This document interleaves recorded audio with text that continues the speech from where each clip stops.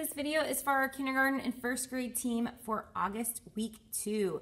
And all month long, we are learning about the virtue of love, showing others how much they matter to you. And our memory verse for this month says, Here is what love is it is not that we loved God, it is that He loved us and sent His Son to give His life to pay for our sins. 1 John 4 10.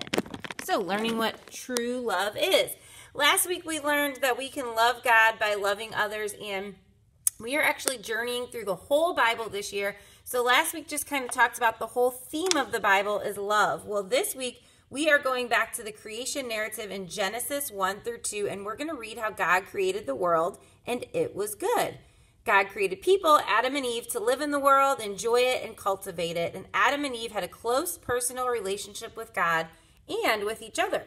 God created people to care for each other and to work together to care for everything that God made. So, our bottom line God made us to take care of each other. From the beginning, God knew that we needed each other. We need people to take care of us, and we need people that we can take care of too. God made the world out of love, and we can share God's love with our relationships by being there for each other no matter what. So, that is our bottom line. God made us to take care of each other. So, I've got your schedule on the board for the morning, and we've got birthdays. Let's jump into our leader guides. We'd love for you to join us at 8.30 and 10.30. Sorry, back it up. 8.20 and 10.20 in the garage room for coffee and donuts. And most importantly, it's just a great time to open up the morning in prayer together. Then just make sure that you are to your small group area by 8.30 and 10.30 so that you're ready to roll. These new leader guides, I wrote you just a little note at the beginning that you can read on Sunday morning. I will also post this as a PDF, so you got it.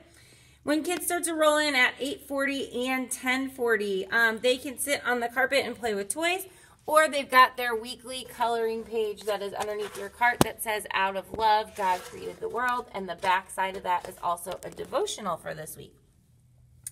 Then just make sure, because I'm sure you've got kids that haven't been here these last couple of weeks, and that have moved up to kindergarten. So just make sure that you're introducing yourself and asking them their name as they come in.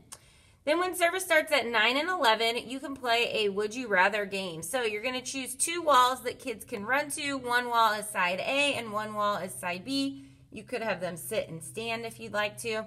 And then you've got a bunch of would you rather questions, just trying to get to know your kiddos. Then at 9, 10, and 11, 10, you are going to head down to a large group.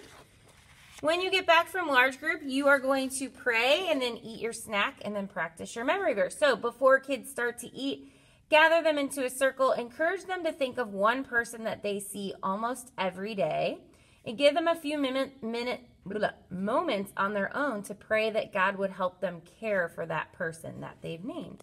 And then you could close down in prayer a little something like this if you want to, or you could say your own prayer. Then while kids are eating their snack, you can open up your Bible to 1 John 4:10. Show them how the top of the page says 1 John, and then the big 4 is the chapter 4 and the little 10 is verse 10. Then you can practice their memory verse several times with the motions. And then you can close down by saying something like this. Our verse reminds us that God loved us first. And in our Bible story, we heard that God created humankind out of love. God's whole relationship comes from love, and God invited us to be part of that love when we care for people. In fact, God made us to take care of each other. And also in your action Bibles that are on your cart, I did mark um, right at the very beginning the creation story. It is really cool in the action Bible, just showing all the different days of creation. So you could read this to your kids while they are eating their snack also, and it goes through creation. We are going to do Genesis 3 next week, so you would just be stopping on day 7 of creation. Then the last little thing we've got for you today is a little relay. You're going to divide your group into two teams, and then you've got this stack of cards. These are things God made, so you're going to divide them into half. And you're going to set the two piles on the opposite sides of the room. Just make sure you've got a card for every kid in your group, and you should. There's pretty many cards in there. So when you say go, you're going to challenge the kids to run, hop, tiptoe, waddle. You're going to call it out, whatever, whatever it might be. One at a time, they'll go grab a card and bring it back, and they will tag the next kid in line. The first team to collect all of their cards wins. And then once all the cards are collected, you're going to sit in a big circle with your kiddos and fan these cards out in front of you and point to all the things that God made. And then just wrap it up by saying something like God made so many incredible things from the snowy white polar bears to the majestic, majestic mountains to the vast oceans to the sweet little kindergartners and first graders. God made a wonderful, wonderful world. Does anybody remember the names of the first two people that God made? Yeah, Adam and Eve. And he gave them a very important job. God wanted them to take care of creation and take care of each other. And we can too. God made us to take care of each other. So that is it, guys. We are doing the creation story this week. Again, feel free to read that to your kiddos. And what a great way to kick off going through the whole Bible in a year. Thank you guys so much for being here and serving this Sunday. You all are amazing. I am so, so grateful for you. And we'll see you on Sunday.